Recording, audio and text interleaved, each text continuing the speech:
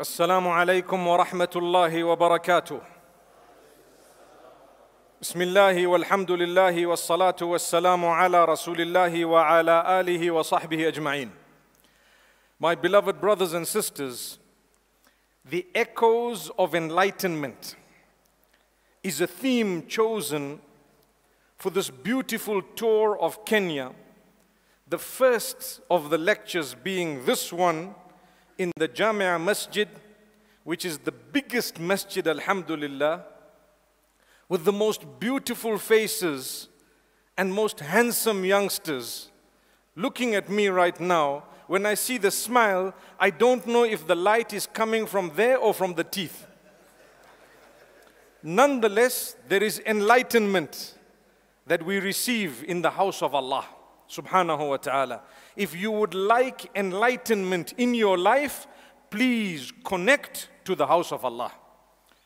رجل قلبه معلق بالمساجد One of the seven who will be granted the shade on the day of Qiyamah is a person whose heart is connected to the house of Allah. It will help you. You will have good habits. You will eradicate your bad habits. You won't have the time to commit immorality and evil. You will be conscious of Allah. You will be repenting to Allah. Imagine the enlightenment you are achieving just by connecting to the house of Allah. And if you are a distance from the house of Allah, or if you are a female for whom it is not an obligation to come to the house of Allah, you will achieve a similar reward by connecting with salah. One salah to the next salah, uh, to the next salah. The concern of it is a huge enlightenment. But I would like to tell you that from the very beginning, the creation of Adam, alayhi salam, Allah would never ever leave man without enlightening him. The echoes of that enlightenment come up to today and shall continue right up to the day of Qiyamah. What does Allah want from you and I? What is the most powerful statement? It has to be a statement of enlightenment that every prophet was asked to repeat. If there is something that every single prophet was asked to say to his people, I need to know it. Imagine who gave the statement? It is Allah, His word. So there has to be something when He says, We will send you prophet after prophet with some message. Allah says in the Quran, فإما يأتينكم مني هدى فمن اتبع هدايا فلا خوف عليهم ولا هم يحزنون Whenever guidance comes to you from me, Allah says. So whoever will follow that guidance, two things I guarantee for that person. لا خوف عليهم ولا هم يحزنون. No fear upon that person and they will not be sad. Not be sad in this world and not be sad in the hereafter. In other words, they will achieve contentment. This means if I follow the guidance of Allah, the enlightenment, I will always be content no matter what happens in my life. When I get something, Alhamdulillah. When I lose something, Alhamdulillah. When I am elevated, Alhamdulillah. I'm not arrogant. When I'm dropped, Alhamdulillah, I'm not depressed. I will adjust because Allah Almighty is in control. So, what is it? What is this huda? Let's go back to the same Quran. And we believe in the Quran, 114 surahs from Surah Al Fatiha right to Surah Al Nas. All of them We believe in them, we adopt them, we understand them, we will memorize them. When we are connected to them, we will achieve the greatest closeness to Allah Almighty. خيركم من تعلم القرآن وعلمه. The best from amongst you are those who learn the Quran and teach it. Anything and everything connected to the Quran, you need to be involved. May Allah Almighty grant us ease.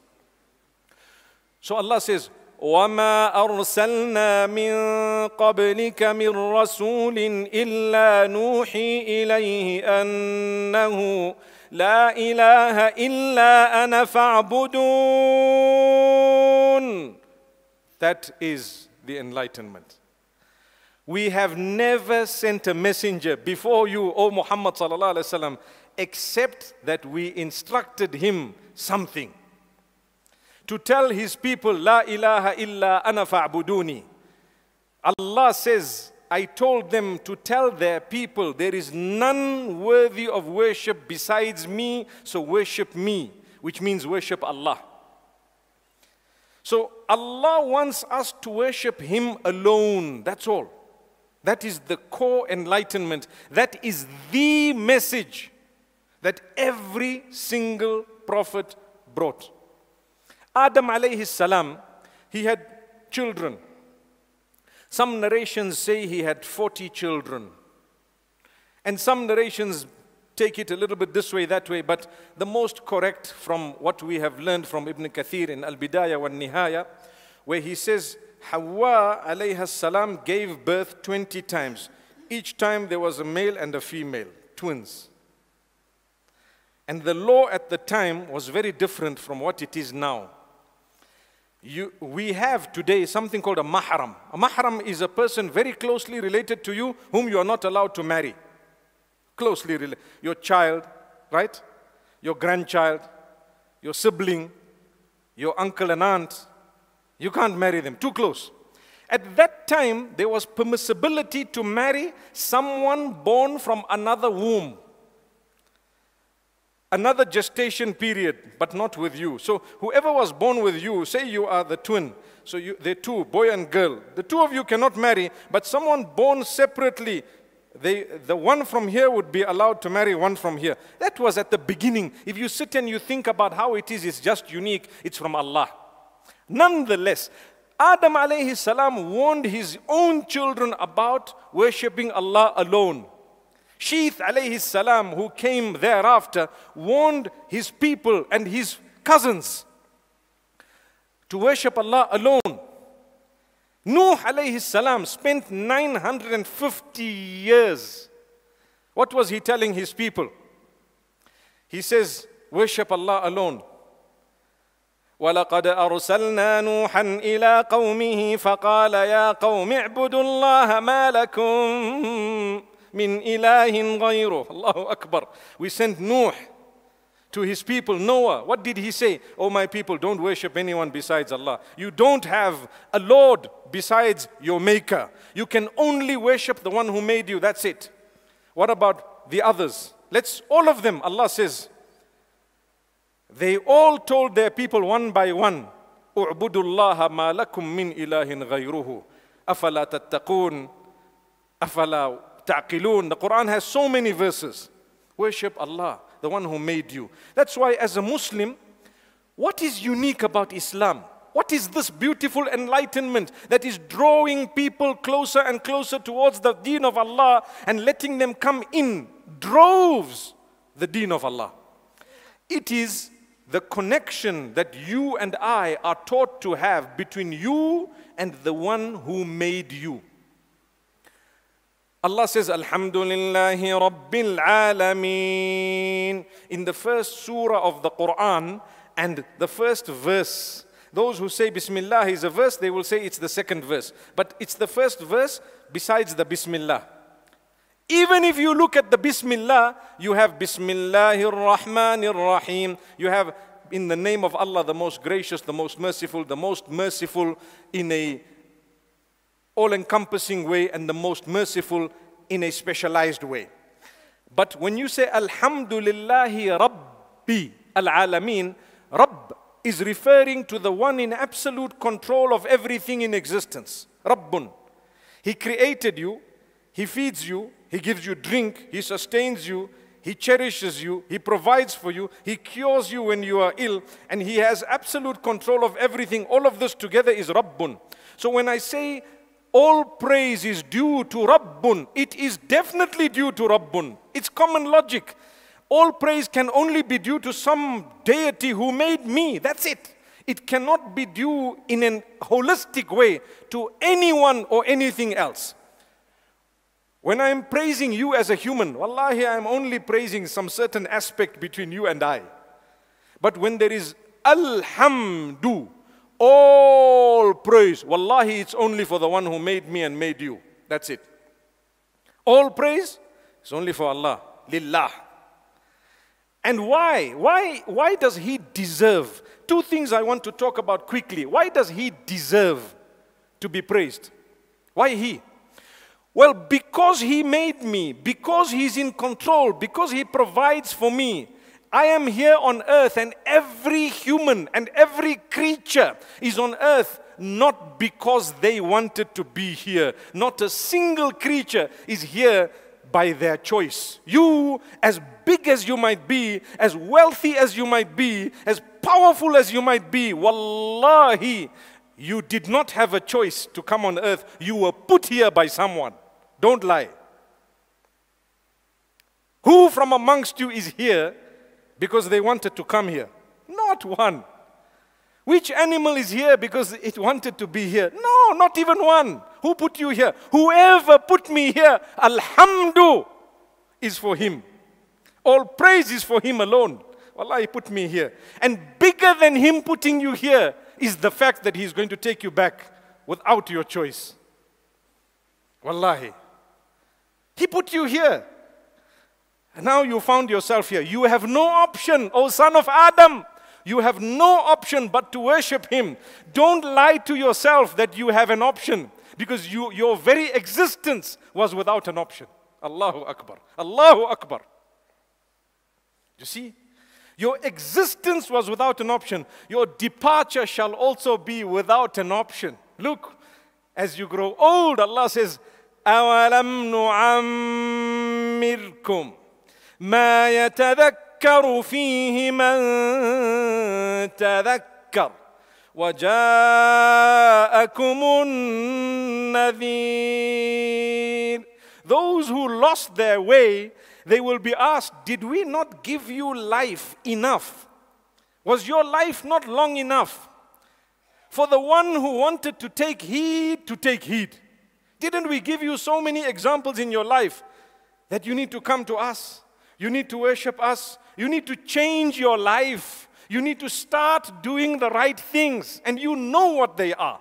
You need to start coming closer to us. Did we not give you enough life?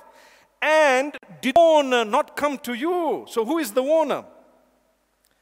Ultimately, the warner, Nabi sallallahu alayhi wasallam was a warner. Allah says, إنا أرسلناك شاهدا ومبشرا Right? Allah sent him as a witness, as a bearer of good news. And Allah says, وَنَذِيرًا Allah sent him as a warner too. وَدَاعِيًا إِلَى اللَّهِ بِإِذْنِهِ وَسِرَاجًا مُنِيرًا Calling towards Allah by His permission. And a shining bright light, subhanallah and to give good news to the believers that Allah has prepared for you something amazing. So the warner, he came to warn you, to remind you, please worship Allah alone. I told you, that is the biggest enlightenment, and the echo of it is loud and it will continue forever. Worship Allah alone. Worship your Maker alone. He's the only one worthy of worship. Worship the one whom you are going to return to. I remember speaking to a group of people who were non Muslim who were asking me, Tell us about worship. You always say, concept of Godhood in Islam is powerful. What about it? So I said, Do you know if I were to say, Oh, you who made me, you are the greatest, do you agree? They said, Yes. Oh, you who is going to take me away, the day you take me away, have mercy on me. Do you agree? They said, Yes. Oh, you whom I'm going to return to, when I return to you, give me goodness. Do you agree? They said, Yes. Oh, you who is in absolute control of entire existence, you are the greatest. I worship you alone. Do you agree? They were quiet for a while. I said, Come on. Do you not agree that the one who deserves my worship, I put my head on the ground? Imagine putting your head on the ground, putting your head no matter who you are, on the floor. only for the one who is in control of entire creation. Wallahi, I will do it only for him. Only for him, no one else. I promised you, they had to agree to say yes, only for him. So who is he? He's the worshipped one. Al Ma'lu. So who is the worshipped one? He calls himself Allah in Hebrew, Elohim, Eloha. You find the Jewish people, the concept of Godhood, they also believe in one God, one, the Maker, alone. Elohim, Eloha. In Arabic, it's Allah, the name He chose for Himself. But the concept of Tawheed in Islam is the most powerful concept because Islam tells you hold it so close to you and be very, very protective over it because that is the biggest echo and it is the biggest enlightenment. Everything else will come around it, but itself needs to be there intact. May Allah grant us the sweetness of worshipping Him alone. My brothers, my sisters, the term Nadir in that verse where Allah says, Did the warner not come to you? Do you know what it includes? In the books of tafsir, it includes your age. When I'm young, nothing is paining. I'm running around like this, like that. If I get hurt in one day, it's already better. When you are small, little, if they do a procedure, in a few days you're already running around and you are okay. When you grow a little bit older, what happens? Your bones begin to ache. Allah says, An Nadir. Your hair becomes gray. Your back begins to cave in a little bit. You need a stick. It's normal, it's okay, Allah loves you. If all of those things brought you closer to Allah, good news to you, you will go to Jannatul Firdaus. خالدين فيها حسنت مستقرا ومقاما Allah says you will be there forever and ever. What a beautiful place. Allah prepared for you. Don't be ashamed. Don't be sad. لا خوف عليهم ولا هم يحزنون. No fear, no sadness at all, no need. Why? Did you not try? Did you do tawbah? Did you ask Allah forgiveness? Yes, you are in a good place, inshallah. You asked Allah forgiveness, you are in a good place. Someone came to me one day, an elderly man, and it's a true story. He said, You know what? I am old, I'm losing hope. Shaitan keeps coming to me to tell me Allah did not forgive you. I heard you say that don't allow shaitan to come and make you think you are not forgiven because that's one of the traps of Allah. Sometimes to think Allah did not forgive you is worse than the sin you committed because now you are doubting one of the names and qualities of Allah, which is worse. If someone committed adultery, it's a major sin. Someone was drinking alcohol, intoxicants, drugs, gambling, whatever. You know the list of major sins. If someone did those, they are major sins. But they know Allah, I will ask Him forgiveness, so I am asking Him. He is Rahmanun Rahimun. He says, La taqnatu. Do not lose hope. في روح في رحمة الله in the mercy of Allah لا تقنطوا من رحمة الله إن الله يغفر الذنوب جميعا so if they lost hope what are they doing they are insulting Allah don't lose hope so the uncle tells me tell me something that will calm my heart I told him uncle the fact that you asked Allah's forgiveness, He has wiped that sin. When we repeat, Oh Allah, forgive me, it's only because we are more embarrassed, not because we are doubting Allah's mercy. When you repeat, Oh Allah, forgive me, forgive me, what I did was bad, He elevates your status higher. But the sin was wiped out the first time that you sought the forgiveness of Allah. This is what we are taught. Don't lose hope in the mercy of Allah. Adam alayhi salam came in, and wallahi, his entire existence was a lesson on those lines. Let me prove it to you. When he was made, he was not born, he was created. Adam alayhi salam, the only creature, the only human being, should I say, the only human being, he was made. Allah blew the soul in him and he came to life in a certain way. But he was already tall, big, and Allah says, علم آدم الأسماء كلها We taught him the names of everything. So when he opened his eyes, he already knew everything. Today they say technology is advanced. One brother told me a day will come, they will put a chip in your ear when you are born and you'll start talking. I said, no, no, no, no. It can't be that far. That's a little bit much. They said, don't, don't misjudge and misunderstand. It can happen. They now have chips inside to read your mind. Do you know that? May Allah forgive us. I still told them, no, you can't read my mind, not mine. They say we have a lie detector. I said, Wallahi, these lie detectors, they are liars. May Allah grant us ease. The point I am raising is when Adam alayhi salam was created by Allah, Allah created him where? Where was he? Where was he? A place known as the garden. The garden, Jannah, a place known as Jannah. The scholars have spoken about which Jannah it was. I'm not going to go into the debate. We call it Jannatul Ibtila. It was a certain Jannah, a certain paradise that Allah made for him to do what he wanted to do. Because the Jannatul Khuld and the Jannah that is everlasting that we are going to go in, there was nothing haram in it at all. But this particular place, Allah made one thing haram. Allah told him, Adam, you and your spouse, Hawa, Hawa came after a certain time. Allah says, you know what? فَكُلَا مِنْهَا رَغَدًا حَيْثُ شِئْتُمَا Eat what you want. Do what you like. This is Jannah. Enjoy. Allah says. وَلَا تَقْرَبَا هَذِهِ الشَّجَرَةِ Just one thing don't do. This tree, don't go close to it. That's all. What did he do? What did he do?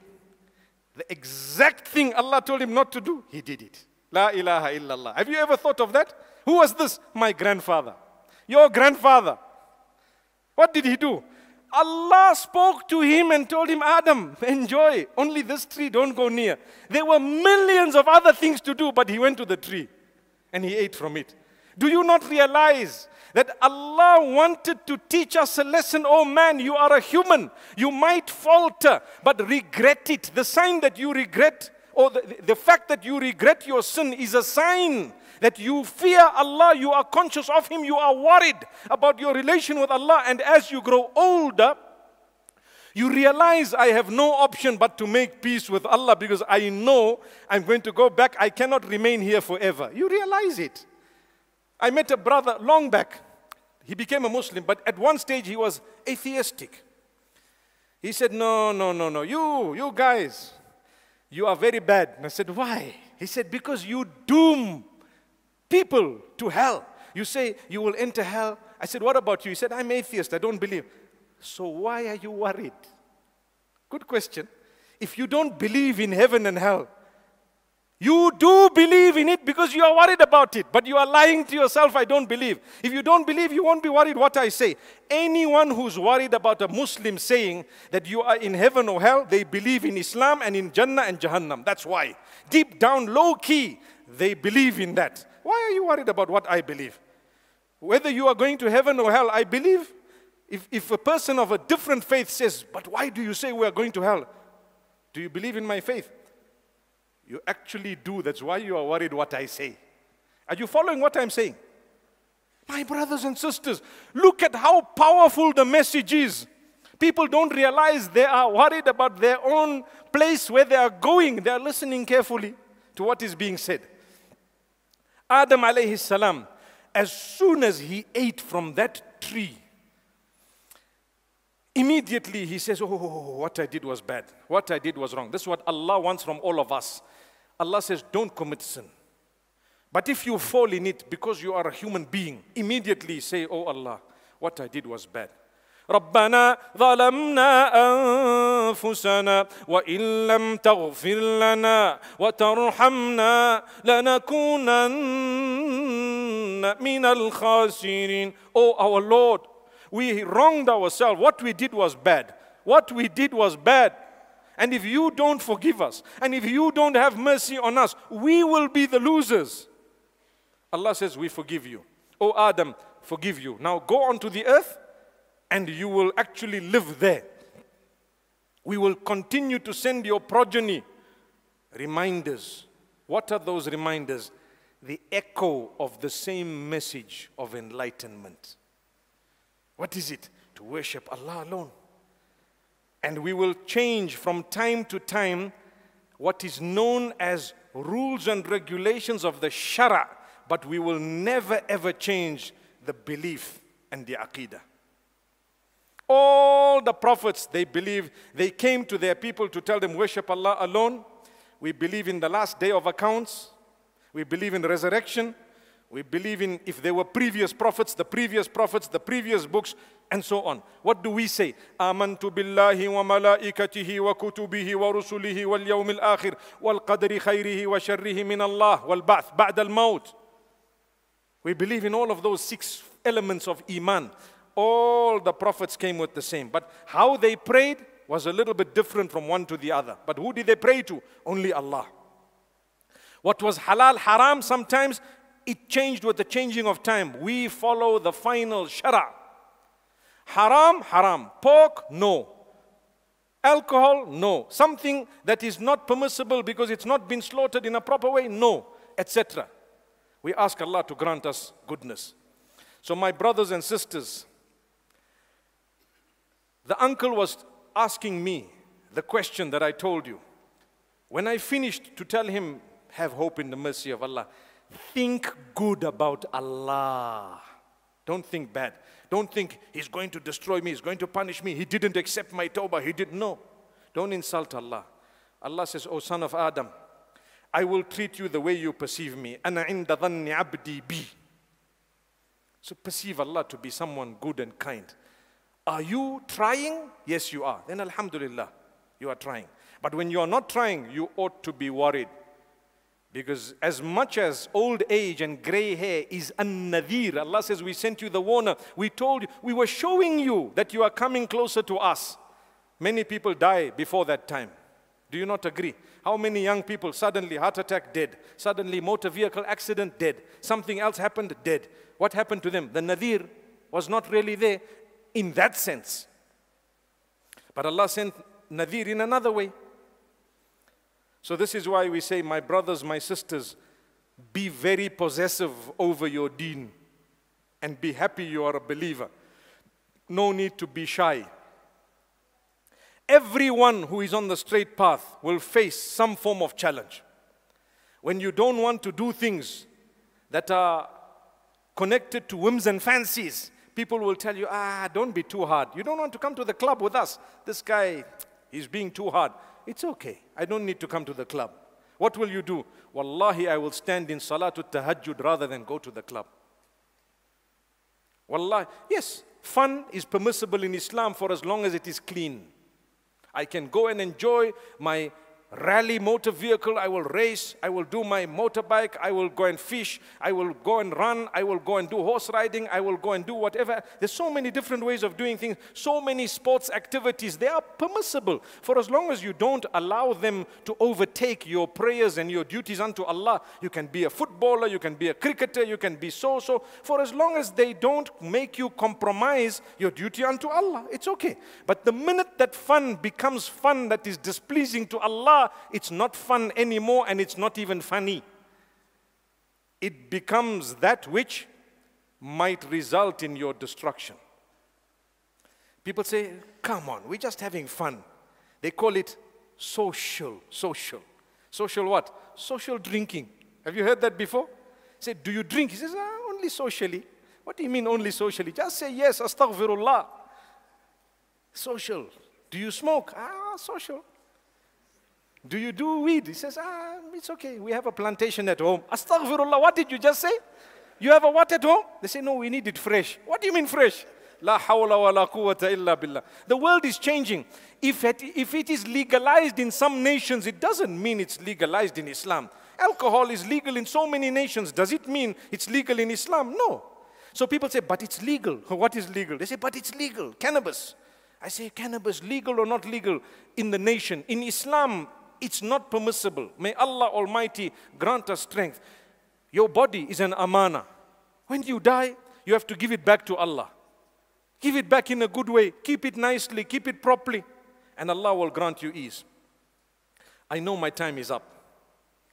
But I tell you, I don't feel like leaving this position. Again, because I see so many handsome faces here just looking at me, smiling and happy. Wallahi, I'm equally happy. I see all the way as I was walking in, I would love to greet everyone, but you know, there are two things about it. It's not humanly possible, and secondly, it doesn't mean that if you touch my hand, you are going to go to Jannah. No, no, no. Doesn't mean that. Doesn't mean. So we love each other for the sake of Allah. We will protect each other. We will serve each other for the sake of Allah subhanahu wa ta'ala to come together and we will spread goodness and we will really try our best to be the best of human beings, worshipping Allah alone, following the sunnah of Rasulullah so that the echoes of enlightenment can beam even through our efforts. I spoke a little bit about Adam alayhi salam today as the days continue, I want to draw on other prophets of Allah subhanahu wa ta'ala and how the echo continued through the generations and for us to see it was all the same. May Allah Almighty bless you all. أقول قولي هذا وصلى الله على نبينا محمد